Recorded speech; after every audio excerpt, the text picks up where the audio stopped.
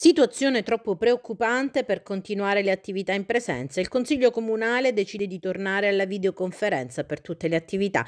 Commissione e sedute consigliari. Lo hanno deciso i capigruppo consigliari riunitisi in presenza del sindaco di Caltanissetta Roberto Gambino questa mattina. Troppo alto il numero dei contagi. Sono 1085 positivi in tutto in città, tra ricoveri e numeri destinati a salire per le prossime settimane secondo le stime dell'ASP.